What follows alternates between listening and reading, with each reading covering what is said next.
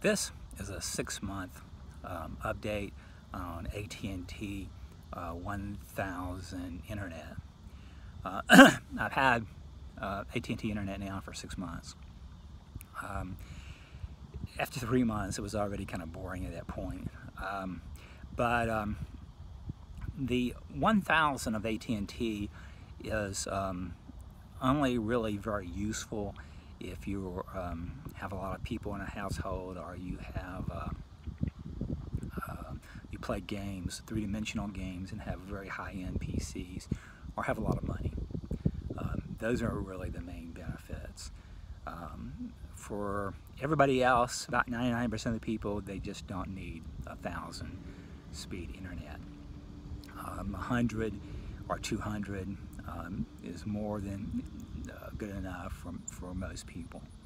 Um, in games, if it's a three-dimensional game, you may notice a difference, but other than that, other kind of games, you, you really won't even notice a difference, uh, not enough to mount anything. Um, and uh, one thing that I have learned, however, is um, there's two main seg sections to when you install AT&T fiber. Um, you have a um, port, a, bit, a, thing outside the house, and then you have a box inside the inside the house. Um, both of those boxes you really don't want to mess with at all. Um, the box inside the house, when they installed it, um, they had it plugged in all the time. And during the time, the six months I've had it, I did have an outage at one point where there was a problem somewhere else and um, it affected me and they eventually resolved the issue. But during that time, I learned that um, you know you don't have to have it on all the time. Uh, the installer said, "Well, no, you need that on all the time." But um, during that outage, I uh, found I, I, had placed it on the uh, uh a surge protector, and so only when I turn on power to the surge protector did it have power to it. Um, and then I called AT&T and asked them, and they said, well, no, you can do that if you want to. And that's actually a better way to do it because if you have storms or different things that go on, um, that way um, that device is not on all the time. Um, if it gets shorted out or something or it blows up, then you, you could get billed for it from AT&T or something. Or I don't, I don't know how they'll deal with that, but it's not something you should really go into if you don't have to. But um, as far as the download speed of a thousand um, gigabytes, um, the only real advantage is if you're uploading or downloading files. Um, and it's not, doesn't necessarily work well with everything.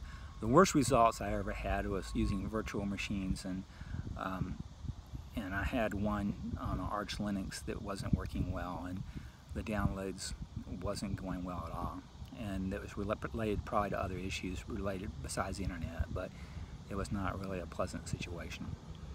Um, but um, if you're uploading files, it's okay. If you are um, uploading 4K video, then you'll, of course, it, it will be very beneficial. Um, but even me here, I'm not using 4K video, even though this camera, this phone does have 4K video on it but I prefer using the, the uh, self camera so I can see what I'm doing and um, so I'm not even using the 4K anymore at all hardly. Um, so um, and on downloads um, it doesn't always work as beneficial as you may think. Um, if you have like a 100 megabyte or even a 30 megabyte um, you probably, for most people, are going to do just as well. Um, I'm only one person, and so for me, there's really almost no benefit at all of having a very high-speed internet. I've tried very hard uh, to make use of it, um, and um, but web pages just simply don't do any better. And most days, that's about all I'm doing 90% of the time. Um, and so um, there's really it's, it's very few things that you're downloading or uploading uh, enough, large enough size that it's going to really make a difference. So um, even after six months, I'm still saying that the best is usually a fiber 100 or fiber 200 or even just even reg regular um, internet, even 30 megabytes up, up um, uh, I mean down, and um, maybe two megabytes or, or, better up is more than good enough for 99% of the people out there. Um, but other than that, that's pretty much all I have for this on this update. Um, I wanted to get a six-month update in. Um, and if you haven't subscribed yet, please subscribe. And thanks a lot.